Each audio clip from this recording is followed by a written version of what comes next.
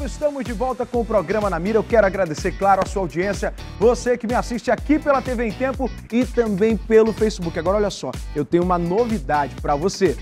Para você que sonha em ter uma Honda, é sempre bom lembrar: moto não cai do céu. Para comprar a sua é necessário planejamento. Mas tem outra coisa que também é bom lembrar que é o consórcio Honda. Ele existe para te dar aquela força na realização do seu sonho. Com parcelas a partir de R$ 118,64, você pode ter uma motocicleta Honda zero quilômetros. E para ficar mais perto de ter sua moto, você precisa dar o primeiro passo ir até uma concessionária Honda mais próxima. Lá os vendedores estarão prontos para tirar todas as suas dúvidas e orientar na escolha do melhor plano para você. Se você está na correria e não consegue dar um pulinho lá na concessionária, você pode tirar suas dúvidas sobre o consórcio Honda ou fazer uma simulação do melhor plano para você acessando o site consórciohonda.com.br. Não fique esperando a moto dos seus sonhos cair do céu. Faça um consórcio Honda, é fácil e funciona. É isso aí, adquiram logo aí a sua moto. Luiz, valeu, olha. A Oneide mandou dizer que eu estou lindo, mandou uma mensagem para mim que eu continue. Então todos os dias agora eu vou vir com essa causa. Beijos, querida. Olha, após o Amazonas registrar o mês de janeiro mais sangrento de todos os últimos, quantos anos? Dos últimos anos, né? O governo do estado instalou na noite desta segunda-feira o gabinete de crise do sistema de segurança pública. Depois da inauguração, um homem foi morto. Logo após a instalação, um homem foi morto após uma briga em uma cela, sabe aonde, meu amigo? Lá no Compagem. E quem esteve lá foi o Vitor Mazulo. Põe ele aqui na tela pra gente.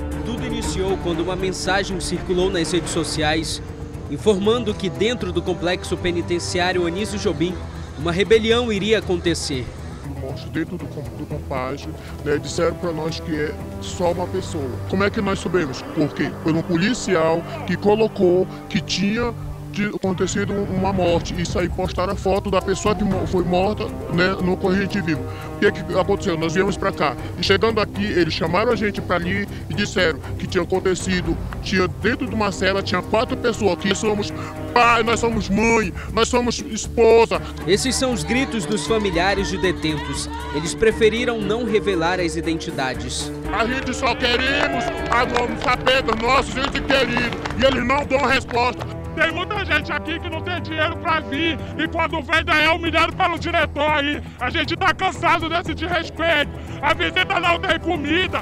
A comida vem pro interno, é uma marmita para dividir tanto pra visita quanto pro interno aí dentro. Após uma briga dentro do presídio, um homem morreu. A Secretaria de Estado de Administração Penitenciária informou por meio de nota que o interno Fabrício Silva dos Santos Neto, de apenas 31 anos de idade, morreu na noite desta segunda-feira. De acordo com a SEAP, Fabrício foi morto após brigar com três homens dentro de uma cela no complexo penitenciário Anísio Jobim, no quilômetro 8 da BR-174. O corpo de Fabrício foi removido pelo Instituto Médico Legal. Quando o carro tumba saiu do interior do Compage, os familiares obrigaram os funcionários do IML a abrirem o veículo para mostrar se de fato apenas um homem morreu. A informação foi confirmada e o carro seguiu para a sede na zona norte de Manaus. Mas não para por aí. As visitas no compágio foram suspensas e os familiares questionam os direitos humanos. A gente só quer o nosso direito, só queremos nosso direito. Aí eles estão ali, só olhando esse policial, depois eles vão mexer, mirar nossa cara, e depois vai chegar lá pra dentro e nós vamos ser. Nós vamos ser cancelar nossa carteirinha. Somente nos primeiros 11 dias de fevereiro, o número de mortes violentas em Manaus passou de 16. A quantidade assusta. Nesta segunda-feira, dia 10, dois homens morreram na Zona Leste, um na Zona Centro-Oeste e o outro na Zona Centro-Sul. As ocorrências fizeram com que as autoridades tomassem uma posição. Governador em exercício, Carlos Almeida, se reuniu com a cúpula da SSP no Centro Integrado de Comando e Controle inaugurou o gabinete de crise do Sistema de Segurança Pública do Amazonas. Há um trabalho permanente da segurança pública através de sua equipe de inteligência e esse trabalho permanente identifica possíveis alterações no sistema de segurança pública. Havendo a possibilidade de alterações no próprio sistema de segurança e de forma antecipada, se resolveu convocar um gabinete de crise com a convocação de todos os integrantes desse gabinete, tanto as forças de segurança quanto os demais integrantes do aparato judiciário. O judiciário, o Ministério Público, a Defensoria, a OAB, que estiveram presentes em reunião mais cedo aqui no CICC. O motivo tem, dado, tem sido por conta das recentes alterações detectadas no sistema e a necessidade de tomada de medidas preventivas para que se possa evitar a violação do resguardo da própria população. Segundo o governo, a meta para os próximos meses é se antecipar e intensificar o combate contra o tráfico de drogas. Somente em janeiro de 2020 foram registradas 117 mortes violentas em todo o Amazonas. Os números assustaram. Dentro do sistema prisional, a presença será intensa das forças de segurança para que nós não possamos permitir com que haja alterações dentro do próprio sistema. Isso tem gerado conflito entre a, o crime organizado.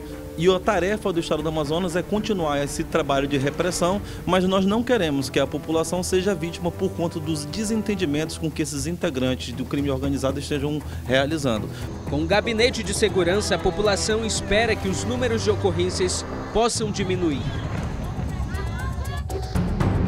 Já já a gente comenta sobre esse caso, porque eu vou ao vivo com o Vanderlei Modesto. Coloca ele aqui já na tela para mim, meu diretor. Vanderlei Modesto, que tá de visual novo, tá com óculos agora novo, né? Tá certo. Meu amigo, como é que tá o clima aí próximo ao compás? Porque a gente ontem tava todo mundo afoito. E hoje, como é que tá a situação por aí?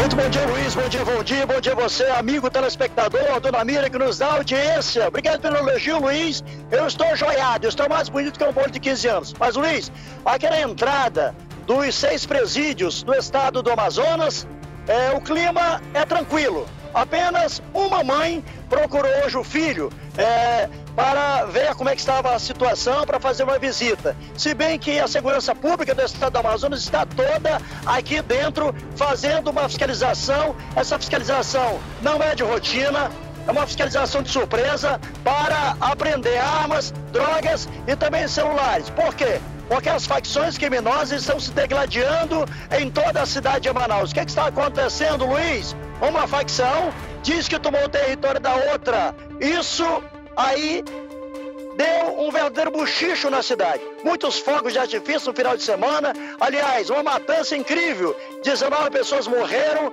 de sexta-feira até a madrugada de hoje. O governador do estado diz que o que está acontecendo, essa rivalidade entre facções criminosas, é porque a polícia civil, militar, a segurança pública do estado do Amazonas fez a maior apreensão de drogas dos últimos tempos. E para, e para ter drogas, é, uma das outras, as facções pretendem invadir o território da outra e só vai ter o benefício só vai ter a droga se matar o chefe da gangue. É o que está acontecendo na cidade de nós. Por enquanto, não existe nenhum indício de uma rebelião aqui nos presídios do estado do Amazonas. Alguma pergunta, Luiz? Não, meu amigo, muito obrigado. Qualquer coisa, você volta aqui no programa Na Mira. Valeu?